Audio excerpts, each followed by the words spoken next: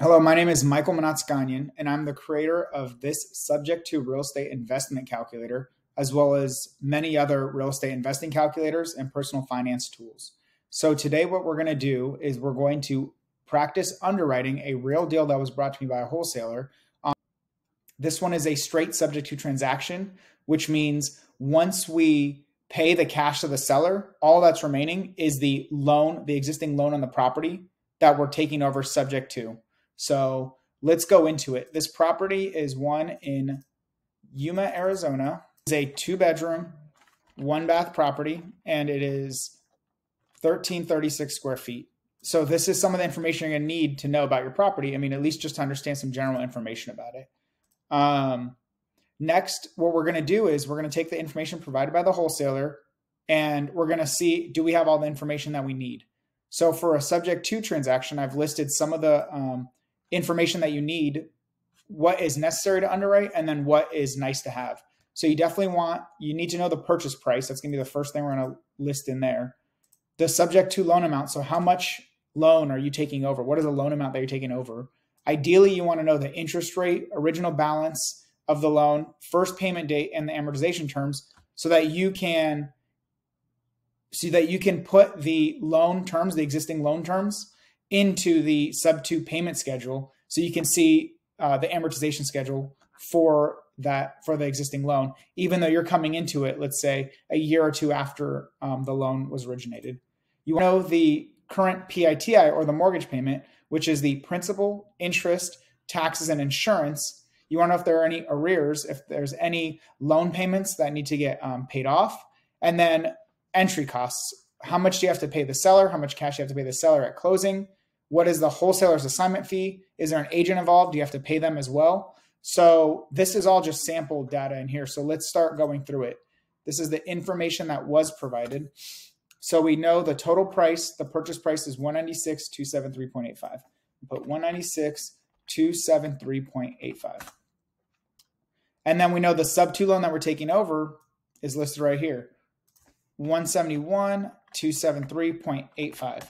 So this doesn't say how much cash we're paying to the seller, but it does say the entry fee is $25,000. So what we need to do is, oh, well, there you go. This purchase price already includes the wholesaler's assignment fee, um, is, is what this is implying. If the entry fee is 25000 that plus the loan balance equals a total price the assumption is the wholesaler is making something and that's already priced into the um, into the calculator. So what we're going to do now i'm going to erase a lot of this stuff. We'll keep the closing costs. We'll estimate the rehab later. It doesn't look like there's any agent commission that wasn't listed anywhere. I believe this is a direct to seller deal. And the down payment instead what we're going to do is we're going to say this purchase is 186 and we're going to assume the wholesaler is getting a $10000 assignment fee which is fairly standard for creative finance transactions. 5,000, 7,500, 10,000, sometimes up to 15 or 20,000. It really depends on the deal. But for standard transactions, it's around $10,000. So what we'll assume is that the seller is getting $15,000 and thus and the wholesaler is getting $10,000 and we still have that $25,000. Those are the assumptions you have to make unless you ask the wholesaler and get clarification. Can you please break down what the 25,000 covers? What we're assuming is it's covering the down payment to the seller, no agent involved, and then there's $10,000 to the um, wholesaler. At the end of the day, it doesn't make a huge difference.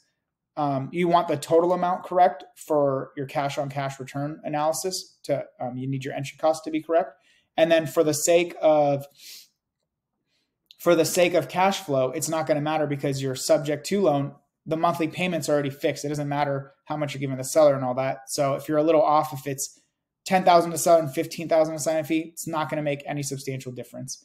But it is good to know so you know um, how to, what you can potentially renegotiate with the seller. So, with the seller or the wholesaler. So, if you don't have the original loan info, which we do not here, you can just exclude this. This section helps you calculate what the monthly loan payment is. If you don't have this, there's nothing you can do about it so the one thing you can do is you can overwrite the principal and interest here if you have a mortgage statement. So let's go and look at a mortgage statement. And here is the mortgage statement. it says the interest rate is 3.875. You can still include as much info as you have in here. Just understand that this this code is not going to work because you're not going to know the original loan amount. You'd have to get that information from elsewhere, either asking the seller directly or um, you can look it up on various software. We're not going to get into that today. The loan balance 171 273 Yep, that's what we saw earlier. This is as of 2 7 2024. So hopefully there was another mortgage payment that was made. So it's actually a little bit less. Otherwise, you'd have to pay that mortgage payment at closing. It shows, let's see, it's limited in the info this one shares, but let's see if I can zoom in further.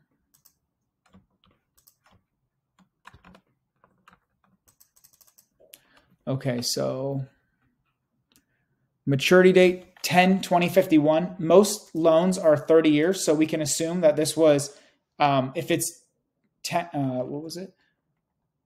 10 2051, we'll assume that the loan was originated 10 1 2021 because that's 30 years um, prior to the loan amount. So the one bad part here is this subject to payment schedule or amortization schedule will utilize the information you have there. But when this monthly payment is overwritten, it's going to change things up, but it'll still give you a pretty good, um, pretty good estimation of the amortization schedule. But the problem is you you don't have the original loan amount to link in here. That is going to be really important for you to have this amortization schedule. So if you decide to move forward with this deal, right, this doesn't really affect the deal so much. But if you decide to move forward with a deal, you're going to want to know the amortization uh, you're going to want to know the original loan amount for the sake of tracking your amortization schedule correctly. So we'll just leave this at 200,000 for now. Um, and then let's see the monthly loan payment. So the monthly loan payment, the total monthly loan payment we see in here, it says 1132.95. So I'll write that on the side. But remember, your monthly loan payment, the loan itself is the principal and interest. This is your PITI. So this includes your taxes and insurance as well. So you're going to want to separate those out. Let me see if on the mortgage statement we could do that pretty well. Really, the tax insurance are an escrow. So you separate out the escrow payment um, respective, or you separate the escrow payment and the remainder is the principal and interest. It's really hard to see with the mortgage statement that was provided.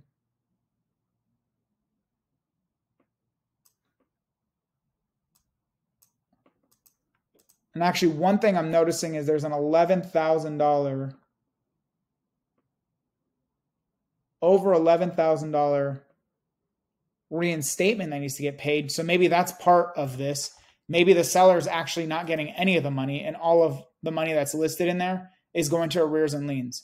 Once again, that doesn't drastically change anything because your entry cost will still be the same. However, what that does change is if you were going to try to negotiate the seller's commission or the seller's um, the cash to the seller down. Well, if it's arrears and liens, you can't really do that. You have to pay that back anyway. So we'll need to get further clarification if this is something you decide to move forward with. So we see here is escrow payments of it really doesn't say. So for the sake of this, we're going to assume of the 1132. So if the loan was 2000, this payment would be around 940.47. So let's just estimate the taxes and insurance is somewhere between these two. So the taxes and insurance or TI is 192.48 for a small single family home in Arizona. Let's say it's the insurance here is around $80, so equals 80 times 12. We're going to assume this is the right amount for the monthly loan payment, and the difference is your taxes and taxes and insurance. These numbers might be wrong. However, you're still going to have the same monthly PITI that you should have anyway. So, you know, that part stays the same. What can happen is that the sale, depending on your insurance and taxes, could go up um, because the property might be reassessed at your new purchase price, and insurance might be higher depending on if their insurance is a owner occupied homeowner and you're an investor. So, so we've got the eighty dollars there. So we're gonna do equals that minus eighty so we're going to estimate $112 a month in taxes. That seems really low to me. So I would definitely want to check if there is if there's anything that you should be considering on there in regards to maybe a homestead exemption or something that's reduced their tax liability. We're not going to get into that. We're just going to worry about underwriting in this calculator today. So let's get rid of, there's no, since it's a single family home, typically the landlord's not paying for any of those utilities. There's still a 10% property management um, that you're setting aside. And then you're setting aside 18% for reserves, which are 8% for vacancy and 10% for maintenance and capex.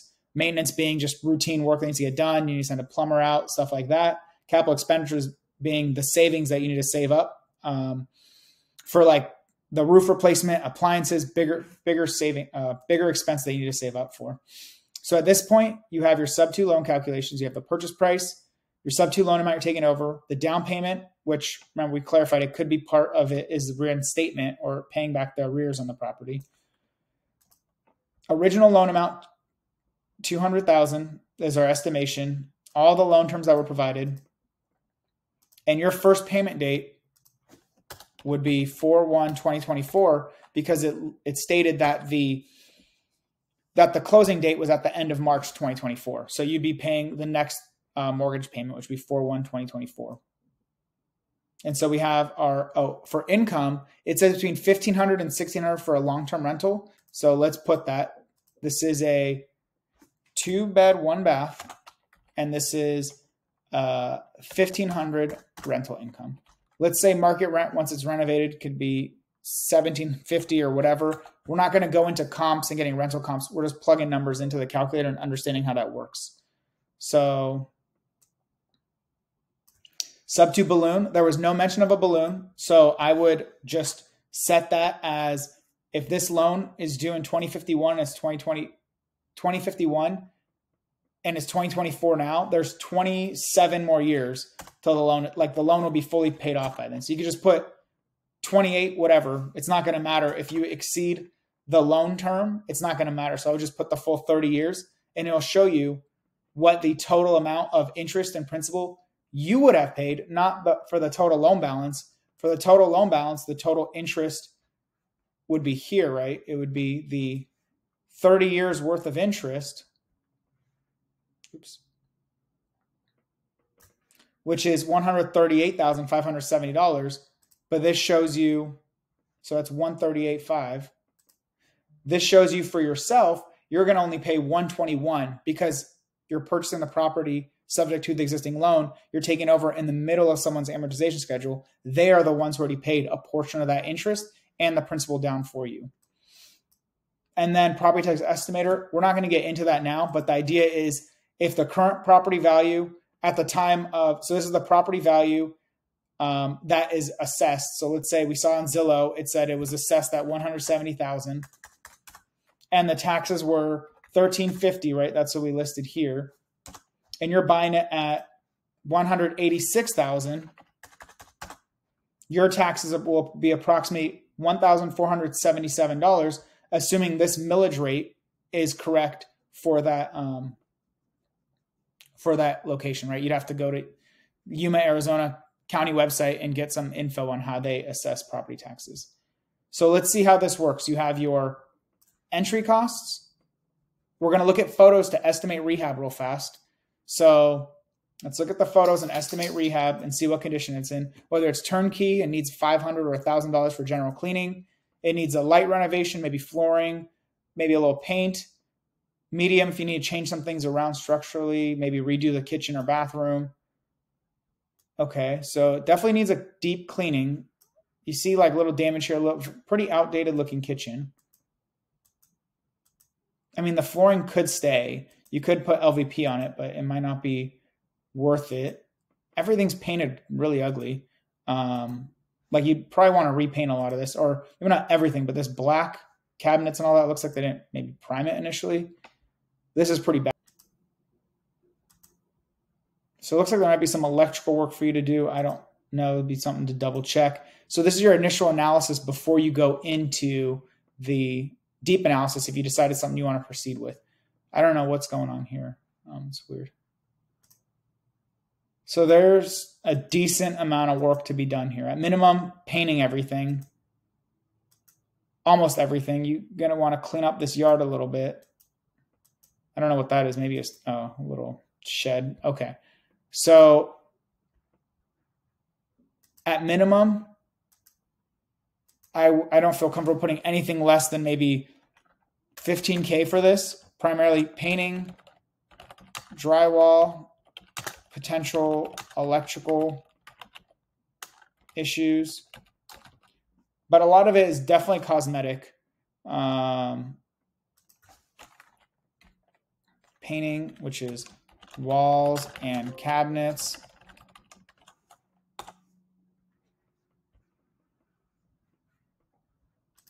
Okay. So what we're going to see here is that for the analysis section, you've done what you need to. For the analysis section, you're going to see the income is 1500, expenses are 1133, property management costs are 150, and your reserves are 270.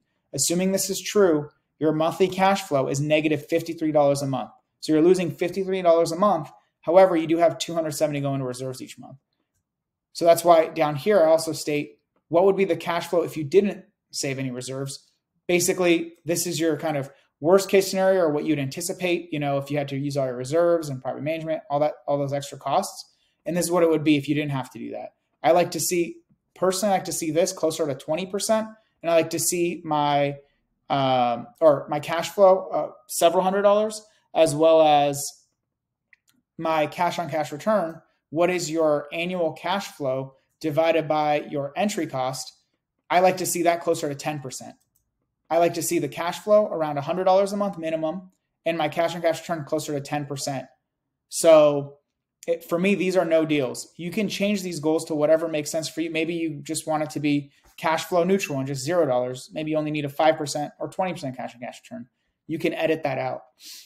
The net operating income is your income minus your expenses without accounting for any loan payments. So this is going to be a lot higher. And then you have your cap rate and expense to rent ratio. We don't get into the weeds on those. But once again, it's your cash flow and cash on cash return with with full reserves accounted for, cash flow and cash cash return without reserves.